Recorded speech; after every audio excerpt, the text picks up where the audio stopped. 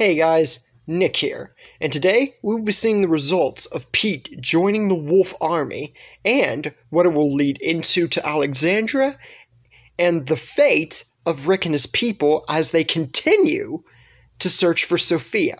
And we will see actual results and a further hint as to Sophia's whereabouts to Rick's group in this episode as well. This is part 16 to What If Sophia Joined Negan.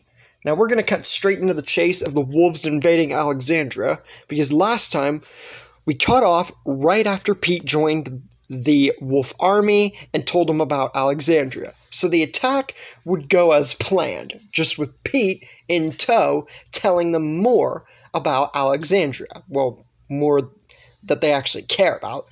You smash into the clock tower, and now we're going to get into who dies. First up is David. I would have put him earlier, but there were other people, so I didn't really. I just felt that him dying here would be good enough. Not really much of a character in this show, anyway. T Dog, unfortunately, would be the next one to fall. Bob would get surrounded, not only by wolves, but walkers too, in a similar fashion to how he was in season four when they were out on the run and everything at the prison. Now, Milton runs into wolves himself, but even though we've seen him take a beating from the governor, he does take a similar beating this time, way later in the story, but Eugene toughens up much earlier than any version of him because Milton is he's so close in personality and everything to Eugene. It's like a brother. So to see him almost die to these folks, he would actually toughen up and protect Milton and succeed.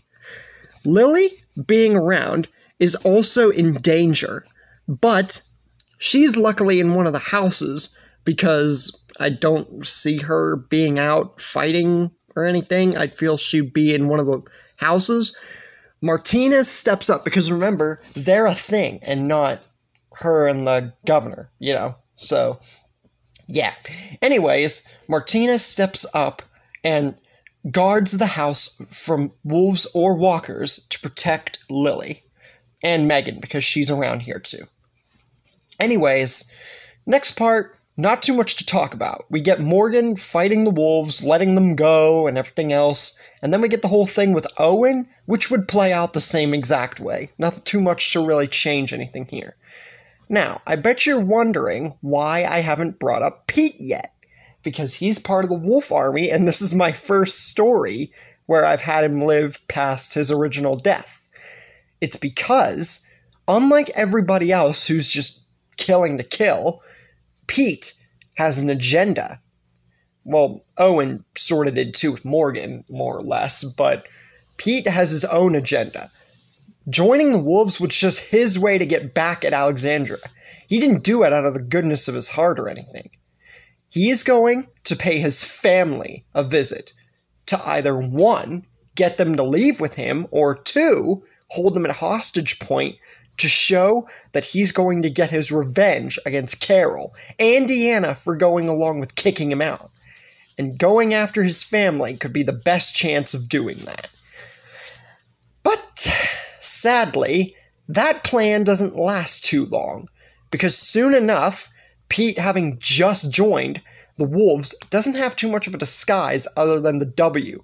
Mika sees him firsthand Carol disguises herself as one of the wolves, so this catches Pete off guard because, you know, he's gonna have a lot of. Pete wasn't, like, he was half smart, half dumb.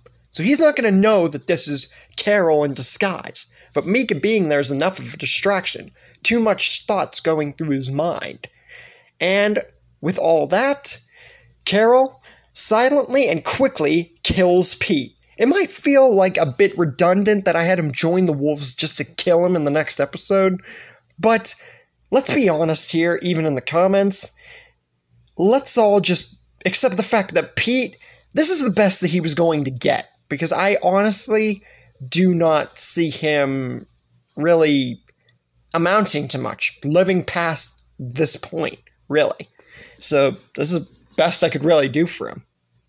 Afterwards, Carol makes sure that Meek is okay, and obviously Pete didn't really get around to getting Jesse, Sam, and Ron, so they're okay.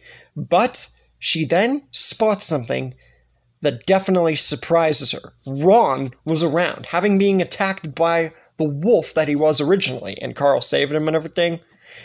He saw what Carol did to Pete because remember, Pete didn't really have a disguise other than the W, so this was plain as day. So, seeing this, Ron immediately, once Carol takes sight of him, points his gun straight at Carol. But if you think that either Carol wouldn't fight back here or that Ron would actually kill Carol, think again. Even though the kill will be happening a bit sooner than when Ron tried to kill Rick, it's still noted that no part of Ron would succeed in whoever he killed. Same with my him almost killing Daryl in my What If Rick Spared Shane remake. Mika puts him down and even gets praise from Carol for this because even though she's confident she could have just killed him, it was still nice to have backup in the form of Mika, especially with the bond that they've had. Now, Heath, Glenn, Nicholas, and all them, Michonne, all that, that whole group segment plays out similarly to how it did originally, so there's not too much to go off of for a change, except for one big thing. No Glenn fake dying dumpster scene thing because Aiden is still around, which means that I feel that he would sacrifice himself instead of Nicholas, which in turn would give Glenn and Nicholas the chance to escape. Now, as I'm sure that Nicholas would also want to sacrifice himself, I feel that just one of them doing this would be enough since Aiden's still alive. It's hard to say because, you know, never happened.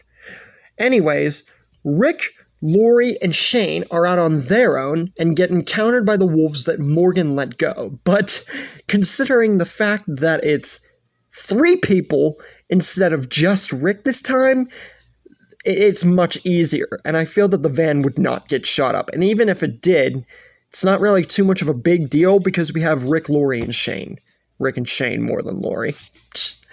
But, anyways, then we cut to Morgan telling his backstory of meeting Eastman and getting the stick and changing his ways, and he tries to change Owen, who we then see locked up and everything else. So that segment would remain unchanged as well. Now, the next thing is Glenn meeting up with Enid. But this time, he has Nicholas in tow. So this would either work to benefit them or it would just make things worse for Enid to want to come along because there's an extra person.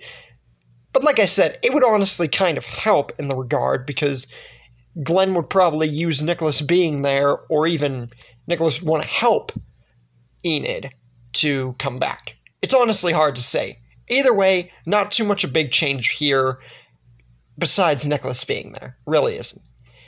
Then we get to something I've discussed in stories before Reg still being alive takes Deanna's death getting bit. So, yeah, this is where Deanna would start to change. She had already trusted the group way more than enough, but now she's like, she's a different person. We all knew what happened after she lost Reg. Meanwhile, we get a scene with Tyrese, Abraham, Sasha, Beth, Merle, and Daryl, and their first encounter with the Saviors and that whole scene with them driving off trying to lead the horde away. Except we have Merle, Beth, and Tyrese in tow.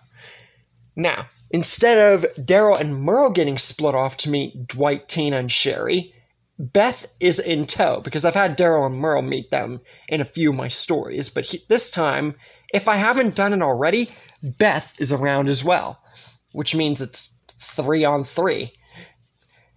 Now, the encounter with Dwight, Sherry, and Tina goes as you would expect, but like I've discussed before, this time more in detail, right before Dwight is about to attack or shoot or whatever, Merle points his gun and stops the whole thing.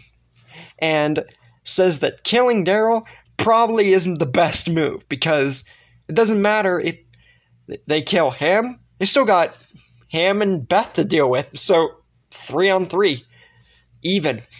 And then he asks Daryl if he should just put all of them down, considering what trouble they've given them. And Daryl says no, because from what he's sensing, and just for good measure, if these people know the rumored group that Sophia might be a part of, they could probably go and find her. It, granted, it was just a rumor that Aaron and Deanna and them heard, but it could still help. Once Dwight hears this, he perks up. He wasn't expecting them to know about Sophia. Because remember, D- Dwight, Sherry, and Tina by this point knew about the Saviors. And then he says that he knows who they're talking about. Daryl then points his crossbow so fast that nobody could even have time to blink. We all know how defensive Daryl was of certain people, especially when Dwight brought up Denise, you know, after he killed her at the whole season seven, end of season seven thing. Anyway, Daryl points his crossbow so fast no one has time to blink because these he wasn't expecting Dwight or anybody to know about Sophia. He, w- he was just taking an educated guess and then he tells Dwight to talk.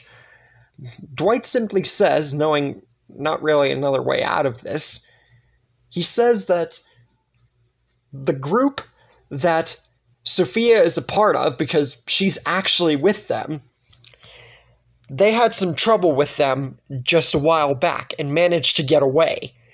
But Sophia is part of that group and is apparently the right hand. They call themselves the Saviors. They take what they want and make it seem like they're saving people, but really it's just a it's just a load of nonsense. However, the saviors are on a different playing field because of Sophia being in tow. And he even states that it's not as bad as he honestly thought it was then, and how the original Dwight would think it. But of course, he's not going to say that because we're not parallel dimensions here. Merle and Beth say that the best thing to do now that they have this information is to just wait and not go in firsthand because they could get them all killed. And Dwight, Sherry, and Tina agree to help because rather than Daryl being there alone and not seeming that genuine and just threatening them, they seem genuine about getting Sophia back. So they're going to help. And with that, Tina also survives because we didn't have the whole running in the woods thing, so she would live here. And with that, we finally have the big hint to finding Sophia, but that doesn't last long because little Timmy and his brigade, after everyone reunites, encounter them on the road.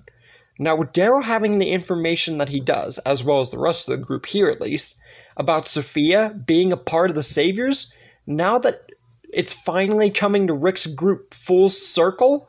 How will this go into actually encountering Sophia?